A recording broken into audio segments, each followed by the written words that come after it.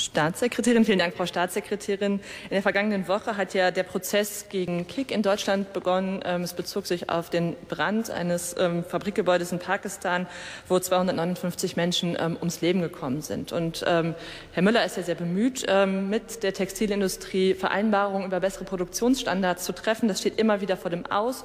Und es ist auch sehr branchenspezifisch. Wir haben jetzt Berichte über katastrophale Arbeitsbedingungen in der Spielzeugindustrie diese Woche aus den Medien entnehmen müssen. Und vor diesem Hintergrund frage ich Sie, ob es nicht, so wie Herr Müller das in seinem Interview in der Süddeutschen Zeitung auch ausgedrückt hat, grundsätzlich sinnvoll wäre, Standards für eine faire Produktion zu definieren. Zum Beispiel ganz konkret Mindeststandards für die Gebäudesicherheit und für den Brandschutz.